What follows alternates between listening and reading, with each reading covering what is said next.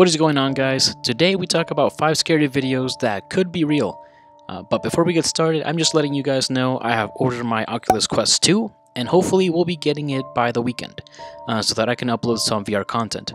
Also, please make sure to leave a like, subscribe, and let me know which video you found most compelling, or if you know um, of a video that is very scary and real, I would love to see all of your guys' opinions. So please enjoy the video. At number 5, we have The Rake.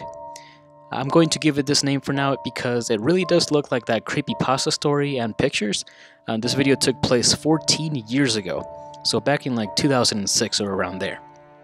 Take a look at the video. La última batería com queda.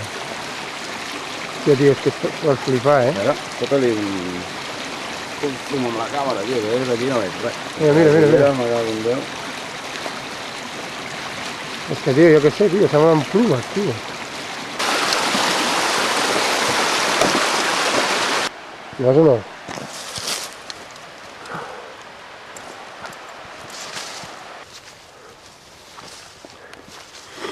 Segur que ha sentit soroll. Home, tio, ja veus si he sentit soroll. Des de, fa rato que sento soroll. Que sí, collons, que sí. Hòstia. Escolta. Ho sents o no?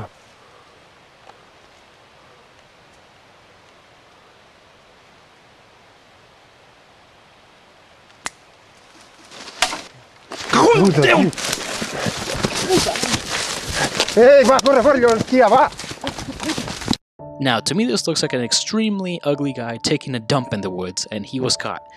Like, that would be my exact reaction if I was spotted. I'd be like, ah, shit, boy. However, considering this video is from 14 years ago, and there's plenty of copycat videos out there of this creature, I want to say this video maybe promoted the whole Rake creepypasta uh, because they both came out at around the same time. The creepypasta should have been around uh, 2005, and the video was made around 2006. Here's a few other images of the creature, some fake and I bet some are real. I just find it a bit crazy that there's a lot of videos and photos capturing this creature. I don't know if uh, maybe it is an actual physical being or if it is some kind of demonic entity, uh, but the point being, if a thousand people say they saw a flying dragon, you can't just say those 1,000 people are crazy. Uh, something is going on with this video and creature. At number 4, we have the Phoenix Lights. In March 13th, 1997, lights appeared over Phoenix, Arizona. No one knows what they were, and the video basically speaks for itself. I will be playing an interview with former governor of Arizona, Fife Symington. Uh, full interview will be in the comment section. March 13th, 1997. This event called Lights Over Phoenix. What did you see? Well, I saw a, uh, a huge craft just kind of come right over Squaw Peak. Um, that was, you know, it was just breathtaking.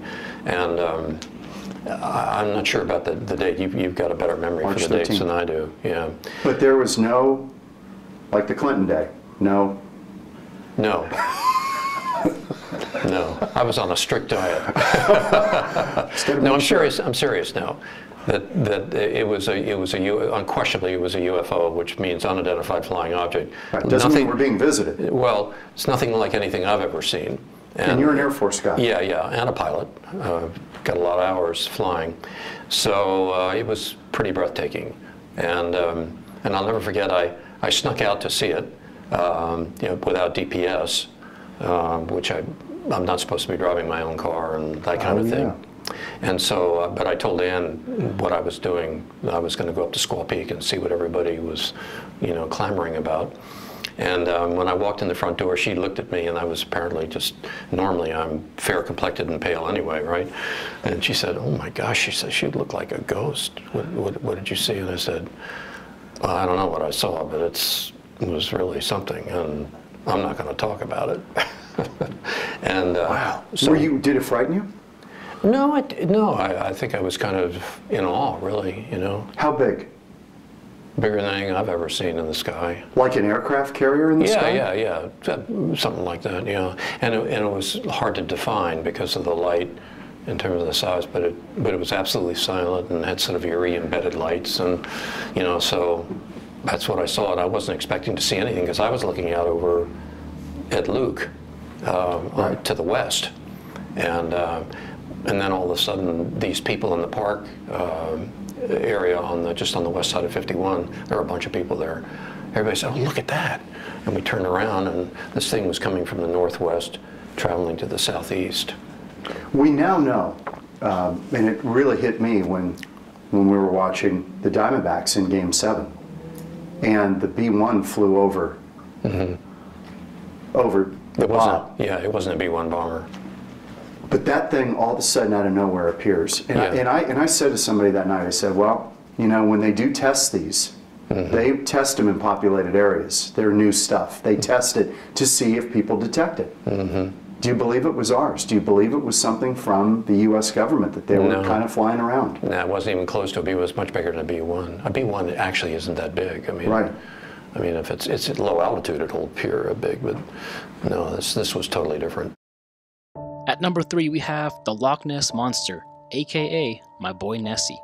Loch Ness in Scotland holds one of the biggest mysteries of all time. Take a look at this clip. Sorry guys if it doesn't show much, but this is majority of the sightings. People around the area have had many encounters with this creature, they have had similar experiences, and claim to have seen the same creature. However, science is letting us know that it is very likely this is not a plesiosaurus. Discovery UK's channel sent scientists to test the water of Loch Ness and came out with many different types of DNAs in the water. They stated that the prehistoric DNA was not found or anything similar to that. However, the most abundant amount of DNA found was from eels. They wouldn't be surprised if there are giant eels in the lake since they could potentially grow to around 12 feet long. In this show called Monster Quest, um, they talked about how when wood is rotting, it releases gas, making it rise to the top of the lake. This could also explain plenty of sightings where people see some sort of head pop out and then go back down. But don't throw the towel just yet. Check this discussion that happened on channel this morning in October 2020, so just a few days ago. You know what I'm looking at. So, so the deep bit there is the bottom of the loch, right? the red bit. See the red line? That's, Yeah. That's everything above that red line you should be looking at. Everything below it, forget it. Okay, and so the So- thing that's circled there that looks like the little blue croissant, Yeah. as you called it, Yeah. that's what we believe is Nessie. Absolutely, yeah. The boat has just passed over the top. That's 650 feet of water that it's in there. And it's down near the bottom. It's about 50 feet off the bottom. So the cruise boat that he's on is going along. That's the red line right at the very top of the screen there. And the cruise boat is traveling along, and that's like a timeline underneath the boat showing you what he's looking at. And he's passed over it for about 10 seconds. That big, solid, single object down 50 feet off of the bottom of Loch Ness, something the size of a transit van. This confirms that there is something down there that we're not aware of. It might not be a plesiosaurus, but it's something. At number two, we have Bigfoot. The most questionable video we have today is the Patterson Gimlin film, where we can clearly see some sort of ape like bipedal creature. I, I will do a side by side comparison of the original one and the new 4K HD remastered one. Take a look at this one. The amount of detail is just insane. Just so you guys know, many people think this is just a guy with a gorilla suit, which could potentially be true. However, the issue is that this is one hell of a gorilla suit, made in 1967. This is a picture of the best gorilla suit out there at that time, which was when uh, Planet of the Apes had just come out near that same time period in 1967. Comparing the two side by side, there's no way this is the same suit. The Bigfoot one is way better. If you pay close attention, to the chest area, you can actually see the famous Bigfoot is actually female. Um, I would zoom in to show you guys, but I would probably get demonetized. Oh wait, I don't get paid for this yet. So if you look closely, you can see some Bigfoot breasts. I never realized that when I saw the original one, but since this is more clear, you can kind of make it out. Also, look at the muscle movement on the leg. This really looks like an actual leg, not just a costume. And finally, at number one, we have the legendary Mothman himself. It was so difficult finding footage of the Mothman, I literally only found like three different videos, um, and two of those three were just so clearly faked. Um, this video was submitted to the team cast in Fact or Faked Paranormal Files in Season 1, Episode 11. I could not find the original one on YouTube. Uh, if you guys know it, please link it down below. It's a bit blurry uh, since it was filmed with a potato ass camera, But if this was not hoaxed, then this must be one of the best videos out there that captured the Mothman on film.